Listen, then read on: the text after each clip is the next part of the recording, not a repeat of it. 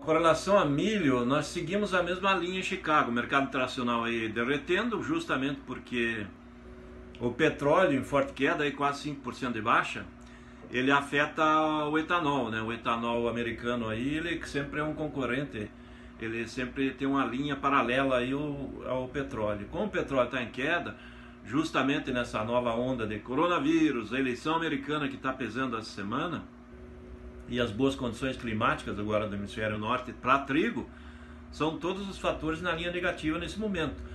Então o trigo melhorou as condições aí nos Estados Unidos, Canadá, leste europeu, uh, até na Austrália houve situações melhores, chuvas, e ainda com problemas aqui na Argentina. Mas no geral o quadro melhorou para o trigo e vem pressionando o milho lá no mercado de Chicago.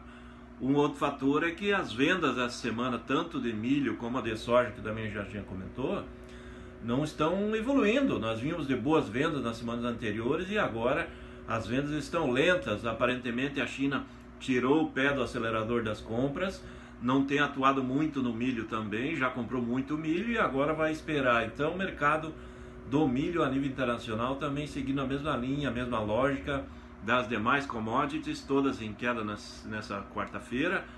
E com isso vai ser um dia de calmaria, João, no mercado externo aí, poucos negócios. Com relação ao mercado interno aí do milho, nós seguimos aí na corrida de busca de produto de fim de mês. O mercado aqui já, ao contrário do externo, segue firme, não mostra muito espaço para retração, tem poucos vendedores.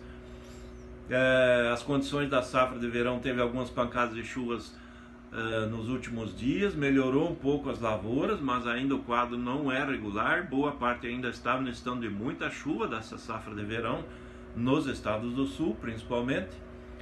E com isso vai dando fôlego para os indicativos, né? O produtor não vende mais, tem muito milho para entregar aí no mês de fevereiro nos portos. Os indicativos nos portos chegando aí para março, aí no caso do Rio Grande, já 82 o interessado para embarcar e não consegue oferta no Porto de Rio Grande. E no mercado doméstico vai na faixa aí de 75 a 80 reais é os indicativos que estão colocados junto às indústrias de ração. Mas no momento somente os pequenos granjeiros e as pequenas indústrias, os grandes do setor de, de ração já estão apontando que estão abastecidos e devem voltar aí só se aparecerem boas oportunidades. Também estão mexendo com alguma importação. Alguns navios devem vir aí no, no final de novembro, dezembro, janeiro, para cobrir as necessidades do setor aí antes da chegada da safra de verão. Mas o mercado segue firme internamente, ao contrário do mercado externo que está em dia de liquidação. É isso aí, João. Um abraço.